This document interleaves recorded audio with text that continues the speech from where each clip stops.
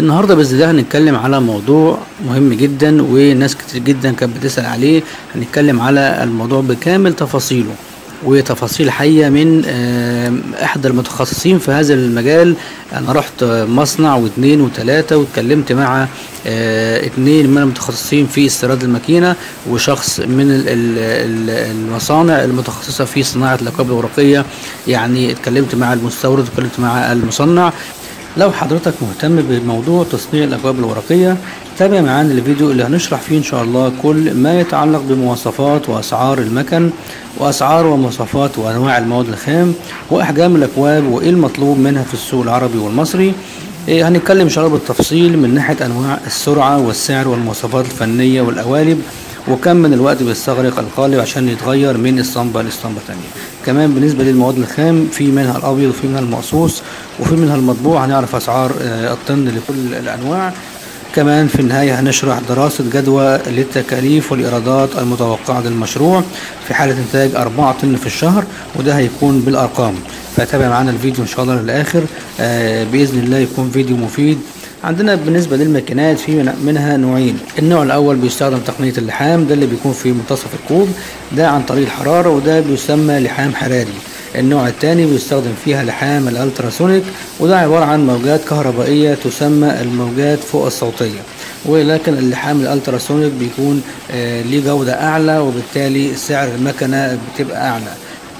يعني أي حد مقبل على هذا المشروع لازم يسأل المكنة لحامها هل هو ألتراسونيك أم لحام حراري.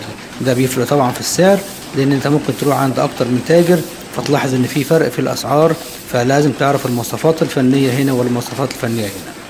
بالنسبة للحام الألتراسونيك زي ما قلت لك بيتم فيها اللحام عن طريق الضغط مع الكهرباء ويبدأ اللحام على الكوب من الجنب فإحنا كده عندنا نوعين من اللحام ماكينات لحام حراري وماكينات لحام ألتراسونيك.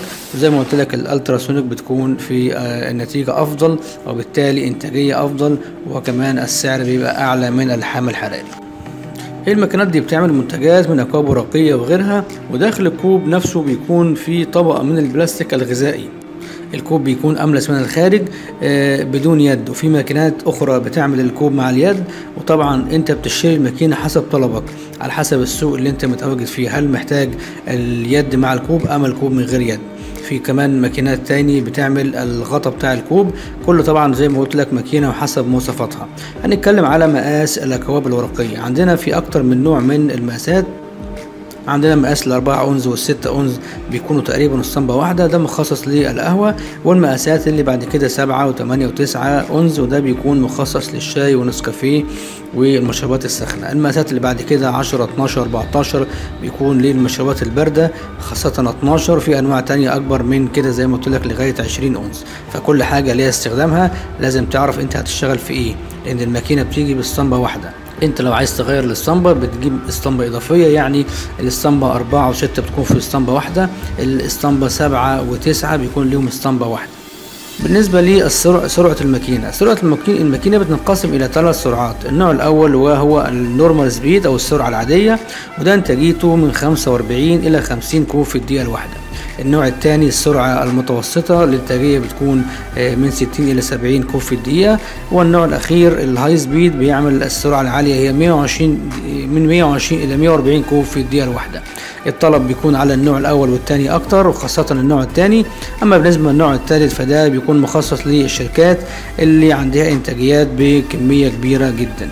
متوسط الإنتاج زي ما قلت لكم بالنسبة للنوع الثاني 60 إلى 70 وده بيكون مناسب جدا لأي حد بادئ المشروع. اذا عندنا السرعات تبدأ من 45 كوب إلى 140 كوب في الدقيقة. طبعا كل اللي إحنا بنشرحه ده لازم حضرتك تاخد بالك منه وأنت بتشتري الماكينة. ده بالنسبة للسرعات عشان لما حضرتك تروح تشتري الماكينة تبقى عارف إن الماكينة ليها ثلاث سرعات. طبعا في ناس كتير بتسأل هل الماكينة آه، بتاعة الأكواب الورقية بتعمل كل الأنواع والأشكال والمقاسات ولا كل ماكينة ليها مقاس معين. الماكينة طبعا بتعمل كل هذه الأنواع لكن آه لازم تغير الاسطمبة إحنا زي ما قلنا الاسطمبة أو القالب الأربعة والستة هما مقاس واحد والسبعة والتسعة مقاس واحد وبعد كده كل المقاسات ليها كل آه، مقاس ليه قالب واحد. فأنت عشان تغير ال- ال- المقاس لازم تغير القالب بتاع الماكينة. تغيير القالب في السرعة العادية بياخد حوالي يوم كامل أما تغيير القالب في السرعة المتوسطة اللي هي من 60 إلى 70 كوب في الدقيقة ده بياخد منك حوالي يوم ونص. بتغير في الماكينة أدوات كتير طبعا آه، القالب كله بيتغير بالنسبة للماكينة سواء السرعة العادية أو السرعة المتوسطة. طبعا بالنسبة للشركات الكبيرة اللي عندها طلبات كتيرة جدا بيكون مخصص ماكينة أو ماكينتين لكل مقاس وبالتالي بيكون عنده أكتر من ماكينة إن ده بياخد منه وقت فعشان ما يخسرش آه، يوم كامل في تغيير الأسطمبة أو القالب فهو بيبقى عنده آه، ماكينات كتير آه، زي ما قلت لك ممكن مقاس واحد يبقى عنده مكانتين فده يعني بيبقى مكلف شوية لكن بالنسبة للشركات اللي عندها طلبات كتير بيبقى يعني أفضل من إن هو يغير للصنع بالنسبة لاستهلاك الكهرباء استهلاك الكهرباء للماكينة من 5 إلى 7 كيلو وات المساحة المطلوبة 2 في 3 للماكينة الواحدة. يعني ده مساحة مساحة الماكينة 2 متر في 3 متر. فأنا طبعا المس- المساحة المطلوبة تكون أعلى من كده ممكن من 50 إلى 60 متر لأن أنت آه، هتحتاج آه، عندك المواد الخام لازم يبقى لها مكان والمنتج النهائي ليه مكان والماكينة ليها مكان. المادة الخام. المادة الخام تيجي في حالتين. الحالة الأولى الورق بيجي رول أبيض خام وده بيتم طباعته على ماكينة الطباعة وبعدين يدخل على ماكينة القص أو التكسير. وده في بداية عملك بيكون مكلف جدا لأن أسعار ماكينة الطباعة والمقص غالية جدا يعني ممكن يعدل خمسين ألف دولار ماكينة الطباعة وماكينة التكسير. الحاجة التانية واللي دي يعني بيفضل إنك أنت تبدأ بيها إنك بتشتري الرول مقصوص جاهز ومطبوع يدخل على ماكينة التشكيل الأكواب مباشرة ويكون معاه كمان رول مخصص لكعب الكوب. طبعا زي ما قلت لك أنا بنصحك في البداية لو أنت لسه بادئ إنك تشتري الورق مطبوع ومقصوص لأن الورق الأبيض الخام ب- يعني بيكون مكلف عشان ماكينة الطباعة وماكينة تكسير الورق بيكون سعرهم عالي جدا. بالنسبة لأسعار الماكينات أسعار الماكينات بالنسبة للماكينة العادية اللي هي من 60 إلى 70 كوب بيكون في حدود من 150 إلى 200 ألف. السرعات المتوسطة سعرها من آه، 260 ألف إلى 300 ألف والسرعات العالية بسعر- سعرها في حدود 350 ألف جنيه مصري. طبعا الأسعار دي شاملة الجمارك وشاملة النقل وشاملة كل حاجة وشاملة التخليص. أنت بتستلمها من الشركة وفي بعض الشركات بيكون عندها البضاعة حاضرة وفي بعض الشركات بتدفع آه، مقدم بالعاده وتستنى الماكينة لما تتشحن في حدود يعني من 40 إلى 60 يوم. الورق لازم ناخد بالك إن الأوزان بتاعته مختلفة. يعني الوزن الكوب بيكون مختلف.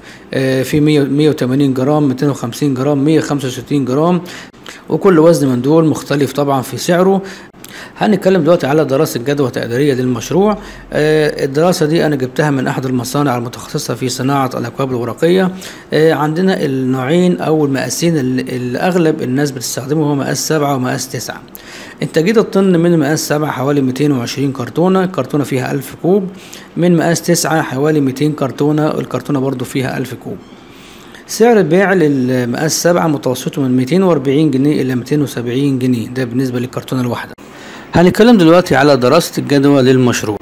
دراسة الجدوى اللي هقدمها لحضراتكم من أحد المتخصصين في هذا المجال وهو مدير مبيعات في آه، إحدى الشركات المنتجة للأكواب الورقية. ال- بالنسبة للإنتاجيات طبعا تختلف إنتاجية كل مقاس عن التاني. زي ما قلنا في أحجام وفي مقاسات ال- الطن بينتج لي هناخد مثلا الأربعة أونز آه، بينتج الطن الواحد 360 ألف كوب.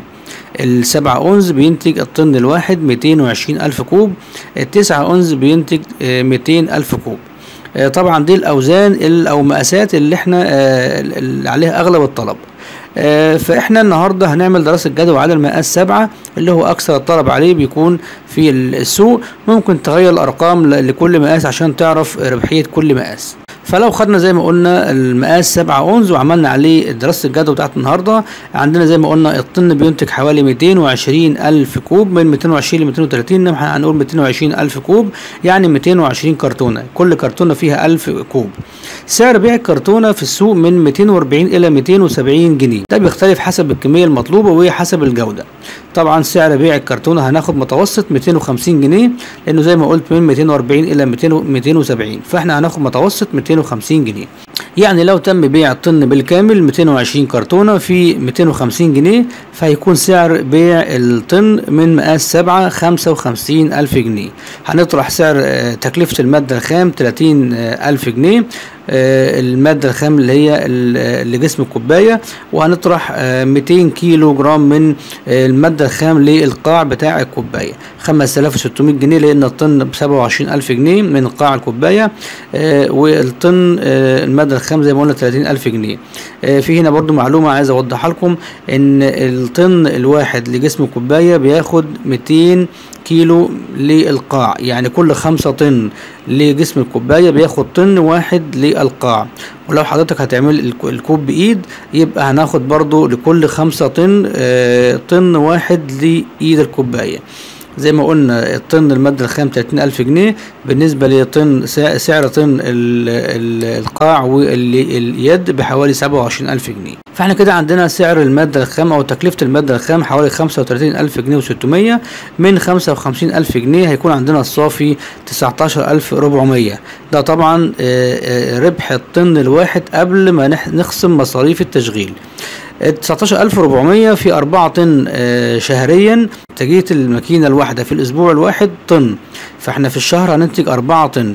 إنما هنا برضو جزئية التسويق مهمة جدا جدا جدا. فإحنا لو حسبنا إن في الأسبوع هننتج طن واحد يعني في الشهر 4 طن آه، زي ما قلنا صافي الطن آه، 19400 في 4 طن للشهر الكامل بحوالي 77600 نيجي نحسب مصاريف التشغيل للأربعة طن. عندنا مصاريف التشغيل زي الكهرباء والإيجار والعمالة والتوزيع والتسويق والتغليف المنتج وصيانة الماكينة.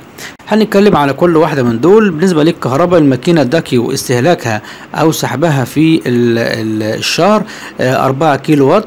يعني استهلاك الماكينة في الشهر حوالي 4000 جنيه.